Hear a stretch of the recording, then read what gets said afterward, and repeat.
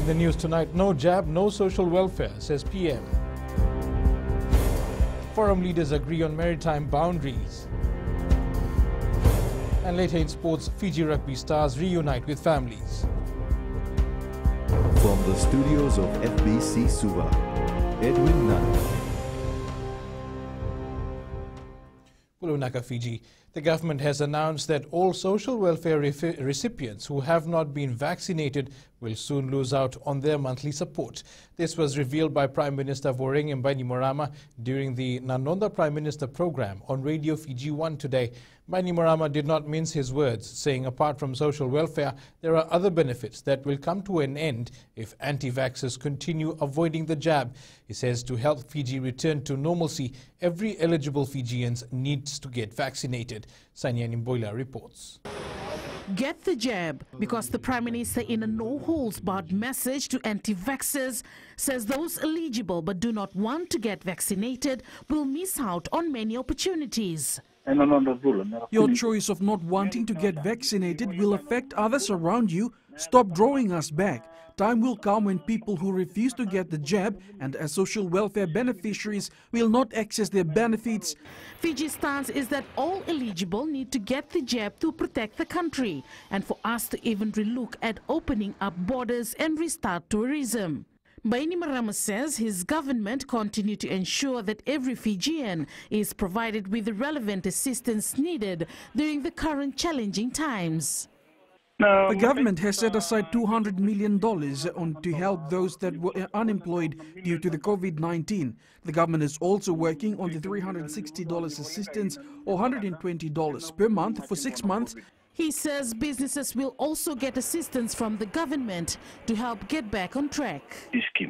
The government has continued with the COVID-19 Recovery Credit Guarantee Scheme to help support businesses during these trying times. The government has also set aside $200 million to help support businesses to continue with their services. Prime Minister Bainimarama says the Fiji First government continues to ensure that no one is left behind as COVID-19 battle continues. Sainiani Boila, FBC News. Pacific Island Forum leaders have agreed that rising sea levels will not affect maritime boundaries of any member country. Led by Prime Minister Voreqe Bainimarama, the forum has endorsed a declaration on preserving maritime zones in the face of climate change-related sea level rise. It's a milestone decision to protect the boundaries of small island states threatened by global warming.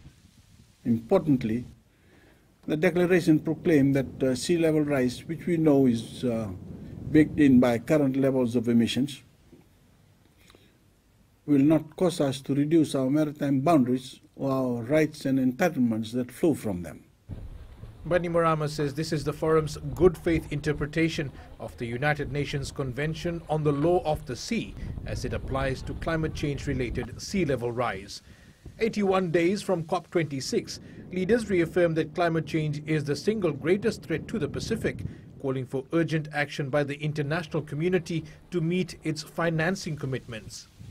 Forum leaders urge all parties to the Paris Agreement to ensure that COP26 delivers an outcome that truly advances efforts to limit global warming to 1.5 degrees Celsius.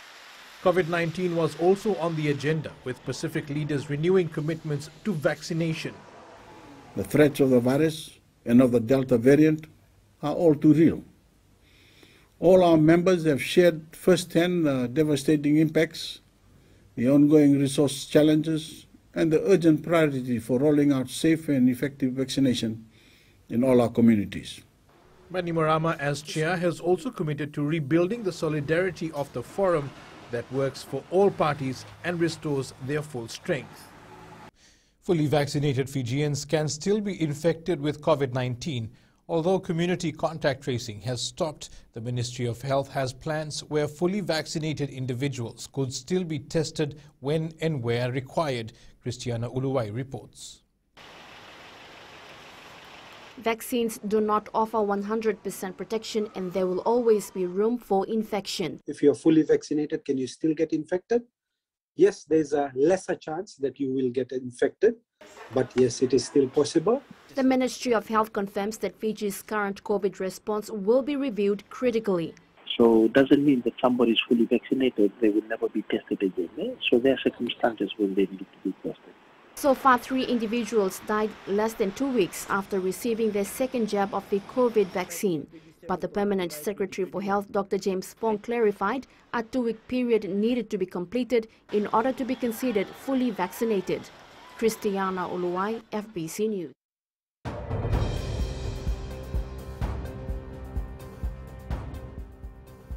To our latest COVID-19 update, Fiji recorded 398 new infections for the period ending 8 a.m. yesterday. 254 cases were from the Western Division and 144 from the Central. The Health Ministry also recorded five new COVID-19 deaths for the period uh, August 10th to the 12th. Three are from the Central Division and two from the West. Fiji has recorded 38,742 cases since April this year. There are now 23,981 active cases in isolation with 14,301 recoveries in total. The COVID-19 death toll stands at 345. The vaccination campaign continues around the country. As of yesterday, 531,512 or 90.6% of the population have received their first dose of the AstraZeneca vaccine. 206,223 or 35.2% have received the second. The five most vaccinated areas include Ba, Rewa, Nadroga and Naitasiri, which are at 100% for the first jab, and next is Nadi.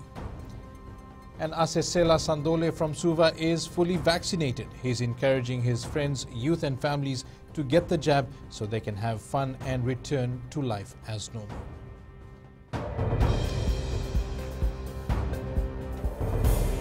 Up ahead, India stands ready to assist Fiji's COVID-19 fight. And Rabuka treading carefully with his proposed party.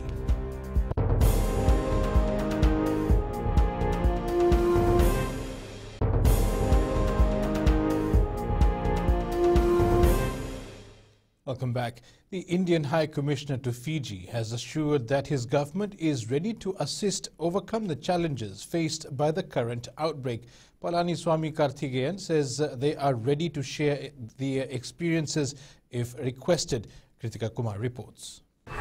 The Indian High Commissioner says they have been working closely with the Fijian authorities. In terms of uh, essential drugs, medicines and PPEs and equipments, uh, we are working very closely with the Fijian government, uh, the Ministry of Foreign Affairs, and the concerned line ministries and agencies. And uh, there are uh, some discussions ongoing with regard to some immediate you know, critical supplies. He adds the COVID 19 pandemic requires a global response. Uh, you can rest assured that India, as, as a close, reliable, and time tested partner, a friend of uh, Fiji, will be uh, with Fiji, uh, you know, I mean, through this very difficult time. And uh, we are very confident that together we'll be able to emerge out of this stronger and more prosperous. The Permanent Secretary for Foreign Affairs says discussions are currently underway with India. Uh, we had a meeting. In fact, I had a meeting. I had shared a meeting with all our bilateral partners two weeks ago um, in terms of our needs uh, to combat COVID 19 and in that there is a there is a list and we have shared with all our development partners. So um, we are hoping that uh, uh, we will be assisted in that regard. India has provided 100,000 doses of the AstraZeneca vaccine in March to support our vaccination rollout. Kritika Kumar, FBC News. The Rokutui Nadroga has confirmed there's been an increase in the number of COVID-related breaches in recent weeks. Seru Ratukolo says this is according to reports from police who say that social gatherings stopped the number of breaches. Josiah Nanunga has more. People in the Nadroga Navosa province have been warned that they are not out of the woods yet and life can go back to some state of normalcy if they adhere to the COVID-safe procedures. We again request Turan Koro and Matinitikina. We have been given our guidelines in regards to this, and we hope that uh, our villages are notified on the laws that we have now in terms of breaching COVID-19 uh, uh, protocols. The Rokutui Nadroga is urging village heads to strictly monitor the movement of people and activities being undertaken in the communities. For Itoke village, we are kindly requesting to implement our social obligation now and our traditional duties, and that is to look after our fellow Fijians who might need assistance in any form so as we can win this fight together. I have been working closely with the Provincial Council office. The battle is not over yet. I make it my business daily to check on the villages as some may be needing essential items where we can get in to help. Parents in the province have also been asked to supervise and assist their children with their home learning package. Chosayananunga, FBC News. Former opposition leader Sitiveni Rabuka has applied to register his new political party. Registrar of Political Parties Muhammad Saneem confirms the application to register the proposed People's Alliance has been submitted to his office. I'm, um, I'm an optimist, but I'm also very uh, true realist. After months of working to garner support for a proposed political party, Sitiveni Rabuka filed the application in person at the Fijian Elections Office. This is after resigning from Parliament and the Social Democratic Liberal Party in December. We have to uh, tread cautiously as we go on from here. Uh, he's got to be, he made the statement yesterday, and that was uh, uh, what we were waiting for, was to break the ice and get the people to know that we are now uh, in the process of being registered. FBC News understands there are a number of prominent politicians and current members of opposition looking to joining Rabuka once they have seen through their term this year. When questioned about possible inclusions to his proposed party, Rabuka says they are for now treading carefully. We're still restricted on what we can and we uh, should not say to uh, the media at the moment. Uh, the supervisor and register of political parties uh, made that very clear yesterday. The Register of Political Parties, Mohammed Saneem, says in accordance with the Political Parties Registration, Conduct and Funding and Disclosures Act, the registrar will now process the application. So we have three reservations on name uh, currently with us, and the proposed People's Alliance uh, is just one of those three that has now applied to register. Following this, if the registrar finds that all requirements have been met and the objection has been dealt with, the party may be registered. Lena Reese, FBC News. And hours after this development, the Social Democratic Liberal Party has warned its members who may be thinking of jumping ship that there is no place for them in Sodelpa. General Secretary Lenaitasi Duru says anyone with allegiances to Rabuka must resign from the party immediately. Apenisa Waqairadovu reports this may open up old wounds which emerged when Rabuka walked out on Sodelpa and divided loyalties between himself and the party. As Sodelpa continues to suspect some of its members colluding with Rabuka's proposed party, Duru has made a call for these people to resign. Our doors are open if you wanted uh, to move, do the honorable thing, resign from us, move and let us uh, uh, continue to serve our people. Duru says Rabuka, as a former military personnel, should seriously reconsider recruiting them. I'm not sure right now how Honorable Rabuka, a military person, uh, would uh, view those uh, type of behavior uh, in the military uh, traitors are not uh, acceptable. So if, I don't know how he would view those who have been uh, playing both sides. Rabuka in response says he will not be ambushing any party to get the people he may need. I have not, uh, I have not solicited any support from any of them, uh, but uh, understand the sentiment in some uh, who have, uh, before I left uh, Sodelpa, had been sort of aligned to my thinking uh, to the philosophies that I promote as a political platform. Duru admitted once Rabuka's proposed party is successfully registered, it would mean a strong competitor for them. He says at this stage, the assumption that the former leader's voters from the last general election will make a move can only be proved at the poll. Apenisong Ndobu, FBC News.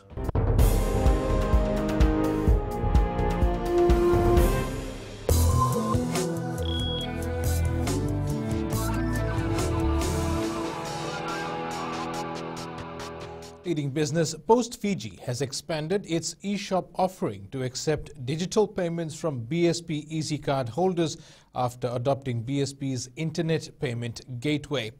While the, with the challenges of the global pandemic, the chief executive of Post Fiji, Dr. Aniruddha Bansod, says this is a timely enhancement to its e-channel. He adds this also uh, is a fantastic opportunity for Post Fiji to raise its digital platform to another level, offering customers not only a shopping platform for groceries, but also stationery and other items. According to Dr. Bansod, with the enhancement of the e-commerce platform, Post Fiji is able to support SMEs. BSP country head Harun Ali has welcomed Post Fiji as the bank's latest IPG merchant and says Fijians are the real winners here. Vodafone Fiji says its digital wallet, the M-Pesa QR Pay, has recorded a 2,000% growth in the last 12 months compared to a year ago. This as restrictions posed by COVID-19 has forced many to reimagine their business models and re-engineer processes to continue to remain relevant and accessible to their customers.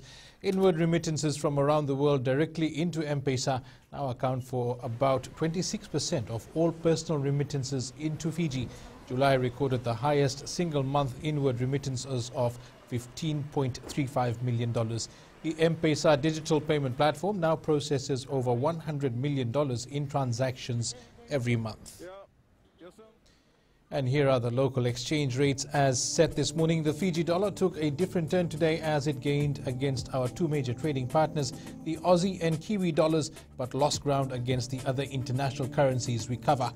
Prices were mixed on the commodities market. Crude oil dropped cl to close at $68 a barrel. Gold rose to $1,754 per ounce, and silver was down $23.17 per ounce. And we now join Sharon from HFC Bank for the latest on the markets. Good evening. The US dollar held firm, staying near its highest level in four months against a basket of currencies. The currency was underpinned by data released today showing US producer prices posted their largest annual increase in more than a decade in the 12 months through July. Although their inflation data published yesterday had indicated that inflation may be peaking, the wholesale price data today underscored the strength of inflationary pressure, helping the case for Federal Reserve on its plans to reduce monetary stimulus. Meanwhile, easing oil prices put some pressure on commodity-linked currencies. The International Energy Agency said the spread of the Delta variant of the coronavirus would slow the recovery of global oil demand. Next week is pegged with economic events, with major focus being the interest rate decision by the Reserve Bank of New Zealand on Wednesday. Market is fully priced for RBNZ to raise interest rate to half a percent, but let's see how that turns out. And that's all I have from your HFC Bank for this week. Thank you.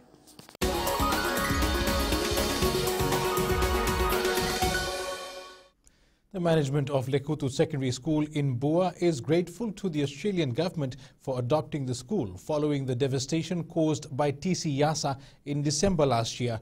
School manager Ovini Mbale Namau says when they saw the extent of damage, they didn't know if they would be able to rebuild seven classrooms, ablution blocks, one dormitory, the dining hall and several teachers' quarters were left in ruins. Malaina Mao says when the Australian Defence Forces inspected the school, it gave them hope. Lekutu Secondary will get eight new classrooms, inclusive of ablution blocks, a new dormitory, a new dining hall, and four new staff quarters, all built to withstand a Category 5 cyclone. All the buildings that will be built will be fitted with solar systems. All the classrooms will have new desks and chair with a whiteboard each. That's the big assistance given by the Australian government to Lekutu Secondary.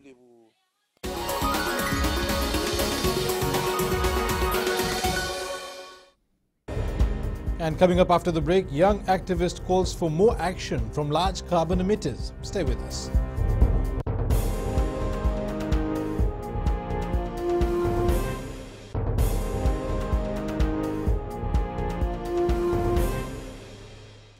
Welcome back. A young local climate activist has raised concerns regarding the latest Intergovernmental Panel on Climate Change report, which has highlighted a code red situation for humanity. Anne Marie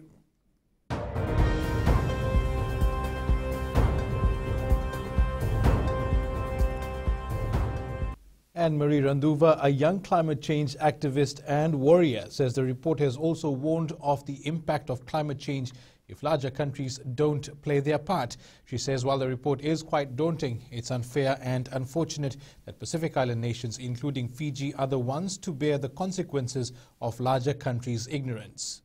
I think it's rather unfair and very unfortunate to be blamed for something uh, we contribute very little to, uh, which is the global um, warming and emissions. Um, we in Fiji and neighboring uh, small island countries on the front lines of climate change.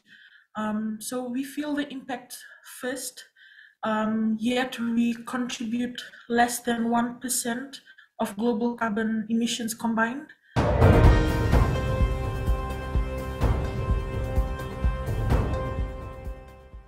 Raising her children single-handedly for 12 years was never easy, but seeing her children fulfill their dreams is a proud feeling for Asaeli Tuivuaka's mum.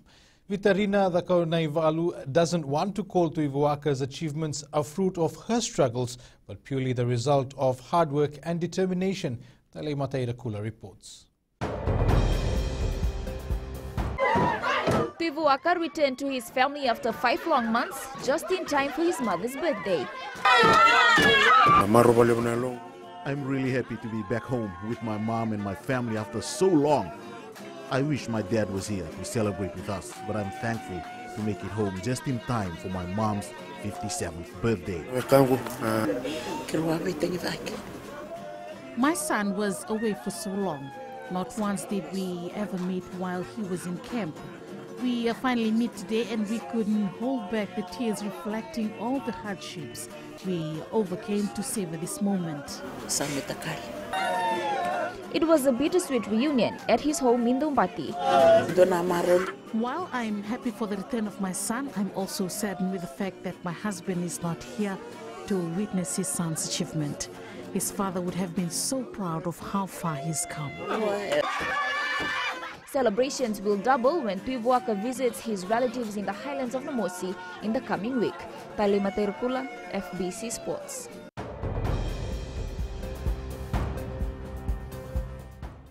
In Q&A tonight, Lena Rees speaks with a young climate change activist about the UN Intergovernmental Panel on Climate Change report.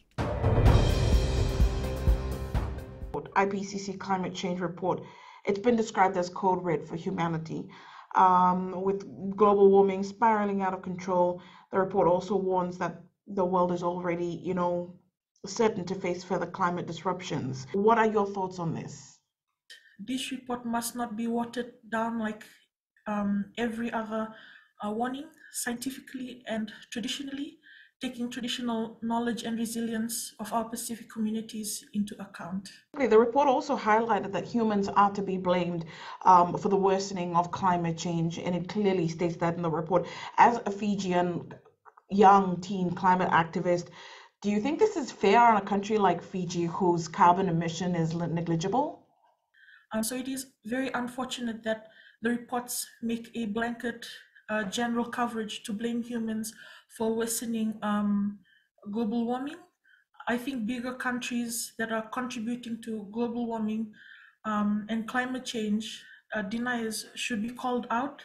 They should be named and shamed for their contribution to this uh, red code alert.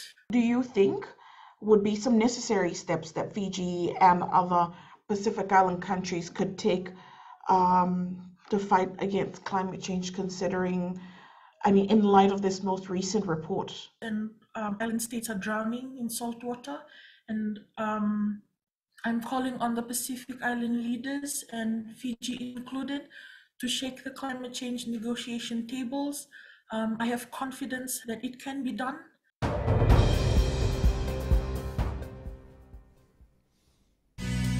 Coming up in sports, home at last for national hero.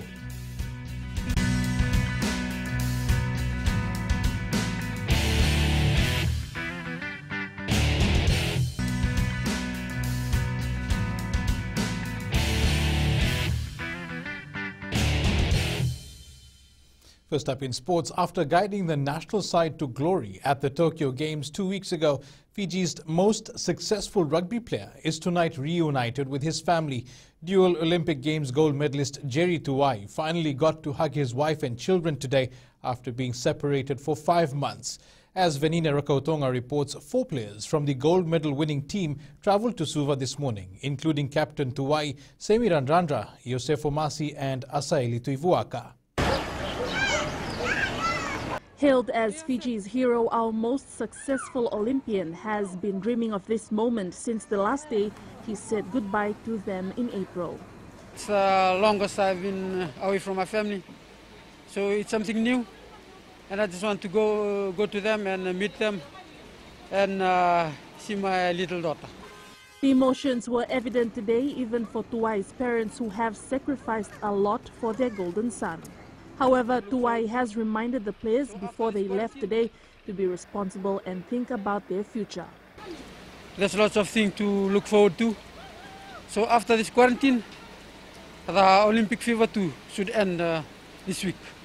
And to move on, so we can uh, look forward to many things that are ahead of us. Fiji Rugby Union welcomed the players today at Rugby House and they're also making the necessary arrangements for players from the north to join their families. I've sought application for for three players, uh, uh, three players that uh, to travel in the north, uh, Maqala, Masti, and um, and and hopefully we will make some arrangements uh, in the next few days to allow them to, to travel.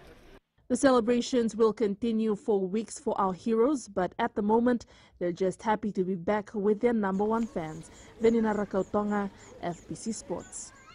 Watching his cousin Waisea Nacuqu return home with an Olympic gold medal is a proud moment for former Fiji Sevens rep Pio Tuwai.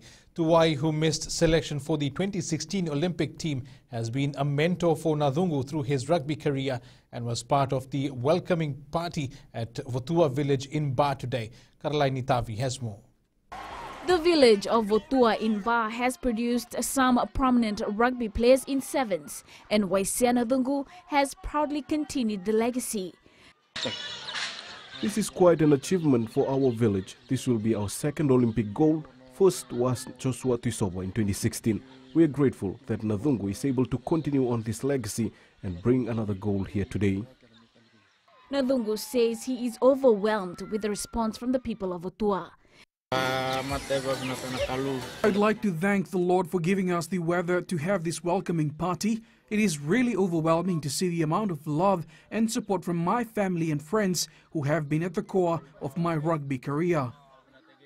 Next on Nacuqu's list is the World Cup Sevens and the Commonwealth Games. Karalaini Tavi, FBC Sports. It was an emotional reunion for 22-year-old Fiji Sevens player Tuta Wainiqolo and his family as the gold medalist returned to his Navua home after five months. Having been away longer than expected and starring for Fiji at the Tokyo Olympics, Wainiqolo was greeted with cheers and beaming smiles this morning. Pranita Prakash reports. Wainiqolo says the reception he received at home this morning is beyond description. Came here at home, they were shouting and running around the house didn't even say goodbye uh, when we left uh, Fiji. So so happy that we came back with a gold medal and make them proud. He has been away for months and he says it was not easy and there were days when he wanted to break camp just to see his family. Uh, we didn't know uh, that uh, it was going to be a lockdown for how many months. So we was in lockdown and we went to a week. We just know that for one week camp. And we, when we went to camp, then uh, coach told us that uh, we will not go back home, and we'll see our family uh, after Tokyo. FRU chief executive says local players like Wayne Ngolo have proven that Fiji rugby pathways are working. We have the talent uh, in Fiji. We have the players. It's just about uh, you know having the right priorities uh, and uh, you know living a, a, life of a professional rugby player. Meanwhile, Wainiqolo will soon leave the country to join French top 14 club Toulon. Pranita Prakash, FBC Sports. Canberra Raiders gave NRL ladder leaders Melbourne a huge scare at Sunshine Coast Stadium last night. In the end, the Storm prevailed 26-16, but they had to survive a Jack Wighton-inspired comeback from Canberra before registering their 18th win on the trot. Lionel Messi trained with uh, new club Paris Saint-Germain today, two days after joining the League One Giants from Barcelona. England suffered a demoralizing first day of the second test as a KL Rahul century led India towards a huge total after they were asked to bat first. Rahul and coming up in Weird and in Wonderful after the break, meet the lady who builds luxury chicken coops.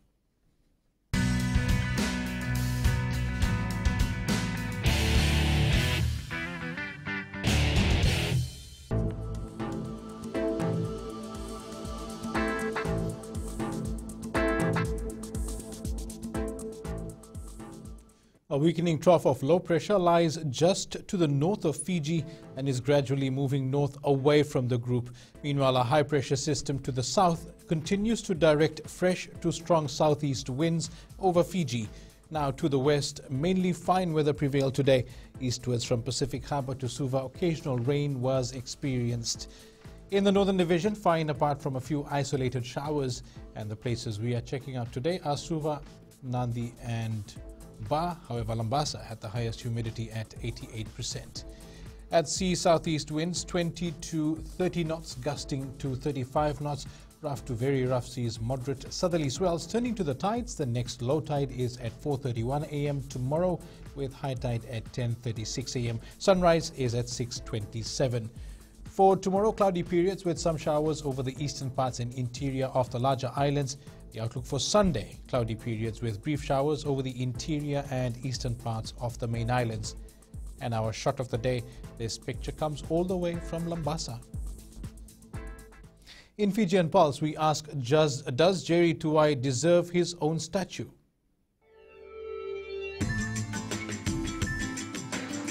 Yes, because he deserves it.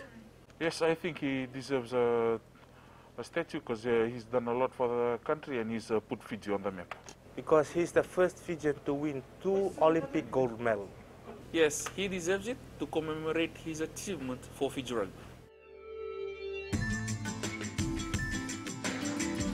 And recapping our main stories, no job, no social welfare, says PM. Forum leaders agree on maritime boundaries and Fiji's rugby stars reunite with families. To our poll question this week, we are asking should more be done for women's rugby in Fiji?